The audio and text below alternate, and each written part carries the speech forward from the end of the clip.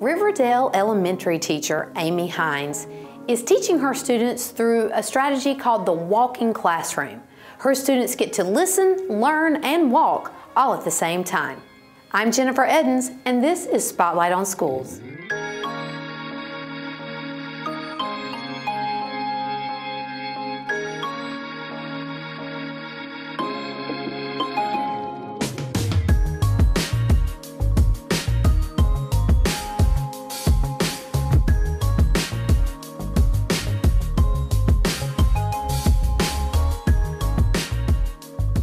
Hines' classroom at River Dell Elementary isn't always confined to four walls.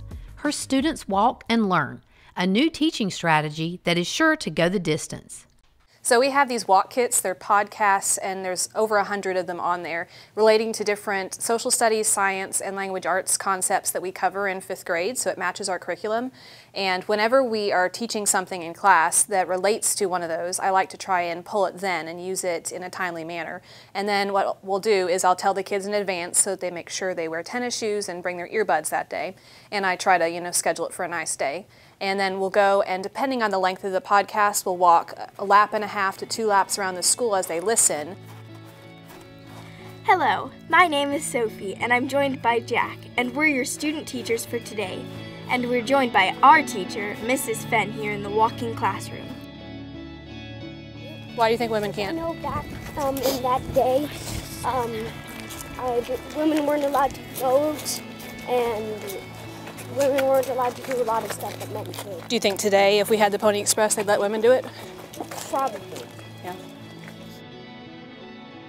Today they listened to the Pony Express, and then after they finish the podcast, while we're still finishing our lap, um, they talk to other kids about things that they heard and they learned. And then when we get back in the room, there are either comprehension quizzes I could use that have like 10 questions where you could see what they remembered from it, but I like to just uh, share out things that they heard that they found interesting, and then I lead them to other concepts if they didn't talk about those at all so that we can go over the main points of the podcast.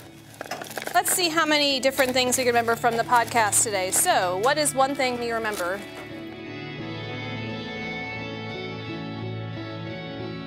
They really just enjoy getting exercise. Um, we walk fairly fast when we do it because part of the program is also to fight childhood obesity. And so by walking quickly, gets their heart rate up, and that helps them also remember stuff better because uh, movement relates to learning. And so all those things are just great for the kids. I feel that it's a really good idea because I heard that if you exercise while you're walking, it helps you focus more, especially when you get back in the classroom. What prompted you to start the walking classroom lessons in your class? Well, I noticed that some of my kids um, really learned best by moving around, and it sort of being in a classroom, it made it harder for them to actively learn. And so I was listening actually one day to NPR, and they were talking about the walking classroom, which I had never heard of before. And it just sort of intrigued me the fact you could be out walking and uh, doing lessons, because I would go and teach outside a lot and do a lot of active things, but this one sounded completely different.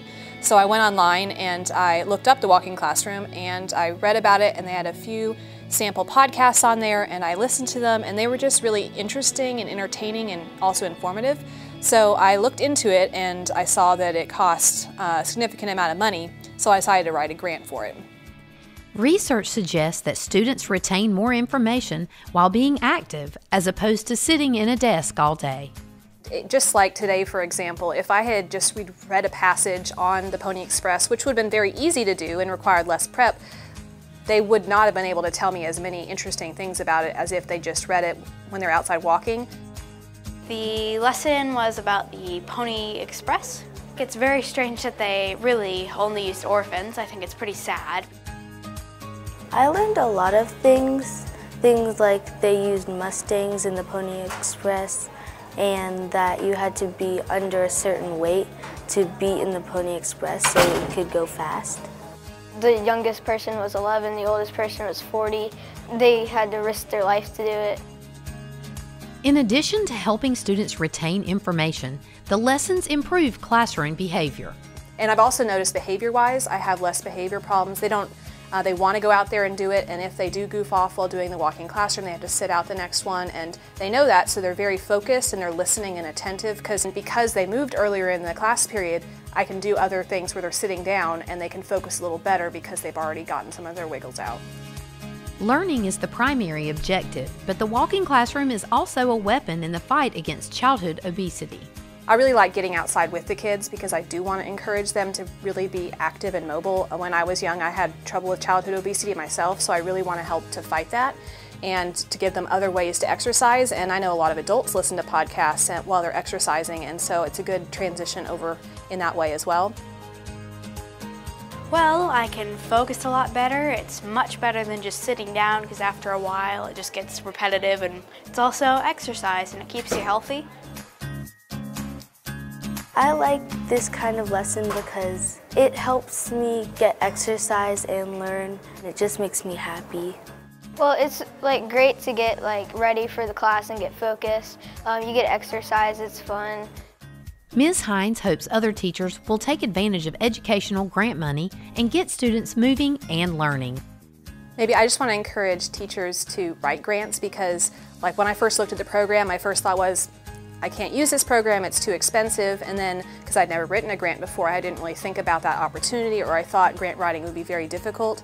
And so when I just had someone help me who'd already done a grant before that was very helpful and it actually wasn't as difficult as I thought it would be, especially since the grant involved technology in a different way than a lot of people use it. They really love it. They love getting outside. They love, you know, feeling like when they walk uh, past other classes and they have you know their earbud in, they just feel so cool. I don't know, like their, their faces just light up. Thanks so much for joining us today. We're happy to have you along. Happy, Happy trails!